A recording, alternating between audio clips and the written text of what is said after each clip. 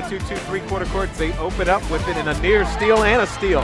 Gerson deflected and got it to Franklin, slashing down the left side of the lane. And the left hand scoop is good off the window with the left hand. A right corner to Watson. Back outside, now top of the key to Tusher. Another three straight on. Good again. Zulo open for three, left wing.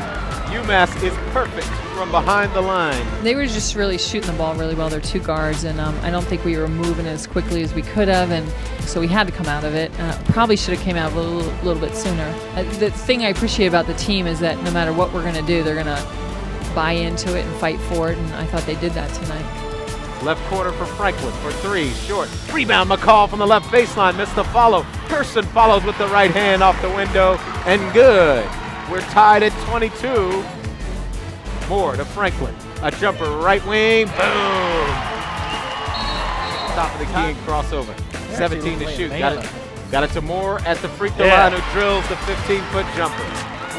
Today we had to play a lot more man, which we have not worked on, and I was pleasantly surprised. You know that we were able to kind of switch into something that we don't normally work on and, and do pretty well at it. 10 to shoot. Tusher screen and roll with Watson. Catches it left side of the lane and Sean took it from her. Now they give it back to Moore at the top of the key. Now to Franklin, left corner to Gerson. Open for three. Good. Finally.